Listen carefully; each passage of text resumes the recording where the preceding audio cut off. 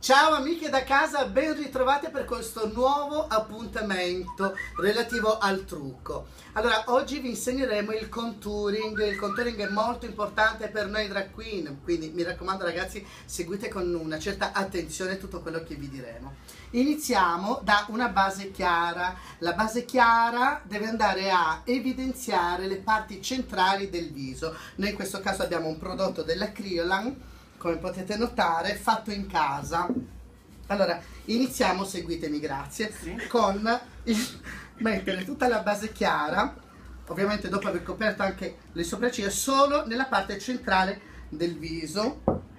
Non eccedete col prodotto, ovviamente, cercate di dosarlo per fare in modo che, ecco, che rimanga bello compatto sul viso. Perfetto, ovviamente... Io ho le occhiaie. Ah?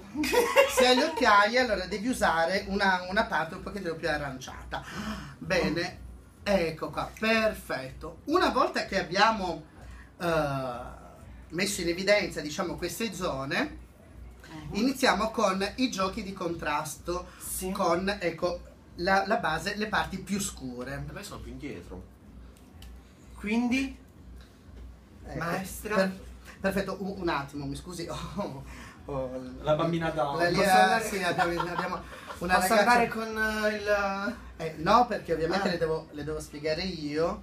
Signora col pizzetto, ovviamente. Ecco. Io sto iniziando a fare già un po' di sfumatura. Perfetto. Perfetto. Adesso, dopo aver fatto questa base ciana, passiamo invece al contouring con le sfumature. Chiquita boom, Chiquita boom boom. Quindi andiamo a prendere la base più scura e la mettiamo picchiettando.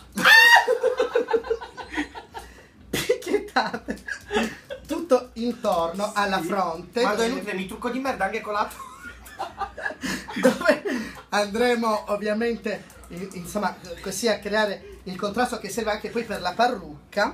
Poi evidenziamo lo zigomo lo zi- prima lo zigomo, guarda, guarda con lo zigomo. Beh, perfetto, guarda questo guarda. effetto naturale. Madonna, aspetta. Eh, guarda il mio. ecco, tu secondo me dovresti mettere un altro po' più di bianco. Qui, sì. okay. E poi, ovviamente, sotto il mento, così, ecco, in questo eh, modo. Sì, perché nasconde sempre noi che siamo belle rotondette, giusto? Oh, però guarda come prende bene, veramente meglio della Criol. oh, guarda come copre gli A me si vede ancora la barba. Guarda! Beh, allora, però sapete che siete più belle del solito stasera. Ecco. Ma il blush non lo mettiamo? Allora, un attimo. Una volta che abbiamo terminato, diciamo, questa, questa fase, andiamo a... Um, abbiamo del rossetto, vogliamo mettere il rossetto. Sì, sì, sì. Abbiamo questa splendida nuance. Di, di, le salviette di, rossetto è, è, è, a base granulosa io faccio anche un po' di contrasto col dorato sì allora, il rossetto eh, ovviamente la... andate ad allargare le eh, labbra così? eh, eh, ecco. Così. Esatto.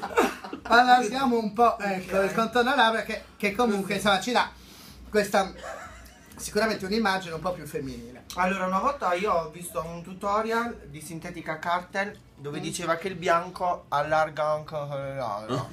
ah, allora, allarghiamo le labbra, anche, però si mette solo con il punto centrale e sopra. E poi... Vedi? Guarda, guarda, guarda, guarda. Tutta un'altra cosa. Eh, tutta Lo stesso colore che avete usato per il rossetto lo potete usare come blush. blush. Quindi, almeno la faccia a evidenziare lo ah, zigomo. No, sì, un po' di in questo un modo. rosino. ah ecco. vedi che va a sfumare con quell'altro. Guarda guarda. Che carino. Ovviamente ragazzi questi sono dei consigli di base. Eh, uh, seguiteli esercitatevi perché, perché uh, è assolutamente il modo migliore per iniziare il trucco. Grazie. Alla prossima. Un po' di bianco pure sul